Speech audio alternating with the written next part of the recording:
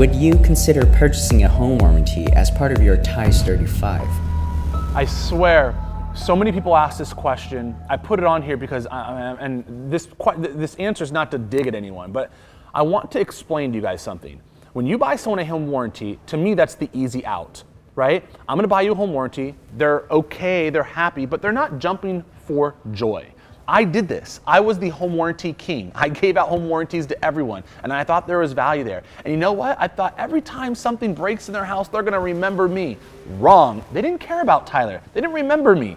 You know what made them remember me was the TIES 35. Just though I don't believe in giving closing gifts, these big packages. Here's a $200 bottle of wine.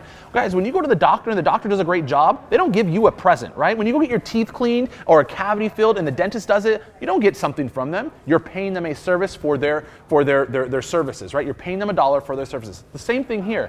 I wanted to provide value. The TIES 35 is about providing value. And really when you take all the items and add them up, it's around the same price as a home warranty, 350 to 450 depending on the home warranty cost. So I don't believe in, hey, I'm gonna buy you a home warranty. Hey, guess what, buyer? Part of buying a house is sometimes you have to get a home warranty. You bought an older home, it's not brand new. I recommend getting a home warranty. If anything breaks within the first year, they're gonna come out and repair it. There's gonna be a $60 fee or a $50 fee or whatever that fee is.